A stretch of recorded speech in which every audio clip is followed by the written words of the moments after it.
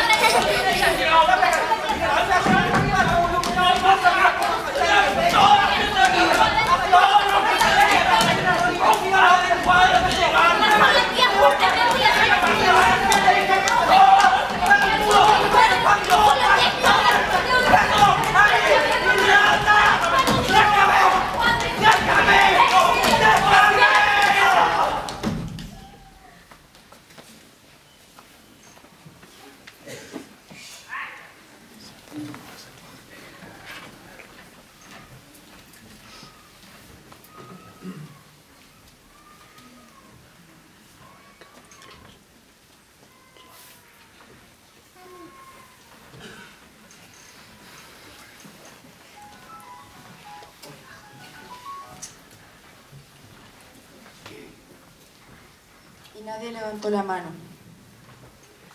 El frío complica siempre las cosas. En verano se está tan cerca del mundo, tan piel contra piel. Pero ahora, a las seis y media, su mujer lo espera en una tienda para elegir un regalo de casamiento. Ya es tarde y se da cuenta de que hace fresco. Hay que ponerse el chaleco azul. Cualquier cosa que vaya bien con el traje gris. El otoño es un ponerse y sacarse chalecos. Irse encerrando, alejando. Sin ganas silba un tango mientras se aparta de la ventana abierta. Busca el chaleco en el armario y empieza a ponérselo delante del espejo.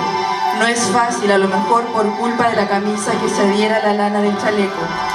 pero le cuesta hacer pasar el brazo. Poco a poco va avanzando la mano hasta que al fin asoma un dedo fuera del puño de lana azul. Pero a la luz del atardecer, la mano, hasta que al fin asoma un dedo fuera del puño de lana azul. Pero a la luz del atardecer, el dedo tiene un aire como de arrugado y metido para adentro con una uña negra terminada en punta. De un tirón se arranca la manga del chaleco y se mira la mano como si no fuese suya. Pero ahora que está fuera del chaleco se ve que es su mano de siempre. Y él la deja caer al extremo del brazo flojo. Se le ocurre pensar lo mejor será meter el otro brazo en la otra manga a ver si resulta más sencillo. Parecería que no lo es porque apenas la lana del chaleco se ha pegado otra vez a la tela de la camisa. La falta de costumbre de empezar con la otra manga dificulta todavía más la operación y aunque se ha puesto a silbar de nuevo para distraerse, siente que la mano avanza apenas y sin alguna maniobra complementaria no conseguirá hacerla llegar nunca a la salida.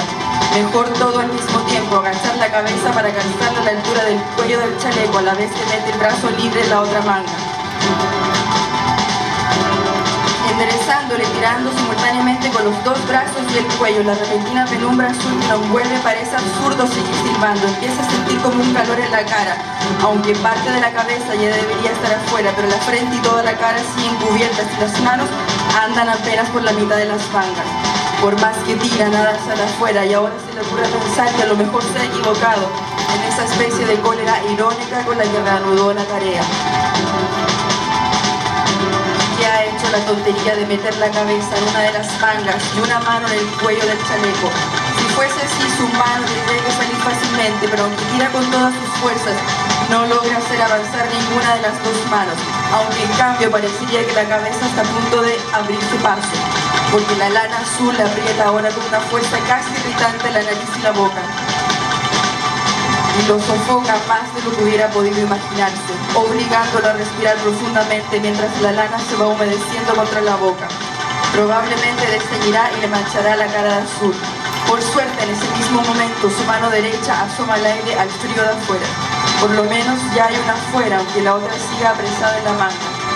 Quizá era cierto que su mano derecha estaba metida en el cuello del chaleco, por eso, lo que él creía que era el cuello le está apretando de esa manera la cara, sofocándolo cada vez más, y en cambio la mano ha podido salir fácilmente. De todos modos, para estar seguro, lo único que puede hacer es seguir abriéndose paso fácilmente, de todos modos, respirando a fondo y dejando escapar el aire poco a poco, aunque sea absurdo porque nada le impide respirar perfectamente, salvo que el aire que traga está mezclado con pelusas de lana del cuello o de la manga del chaleco, y además hay el gusto del chaleco, ese gusto azul de la lana que le estar manchando la cara, ahora que la humedad del aliento se mezcla cada vez más con la lana. Y aunque no puede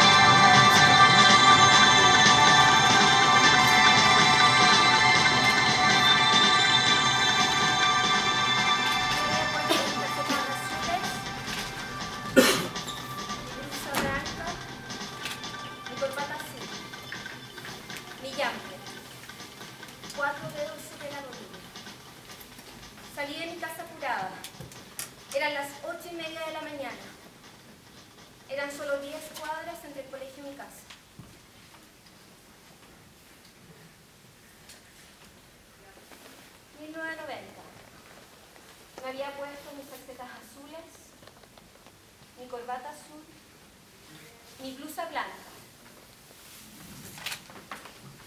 mi jumper, cuatro dedos sobre la columna. Salí de mi casa apurada. Eran las ocho y media de la mañana. Eran solo diez cuadras entre el colegio y mi casa.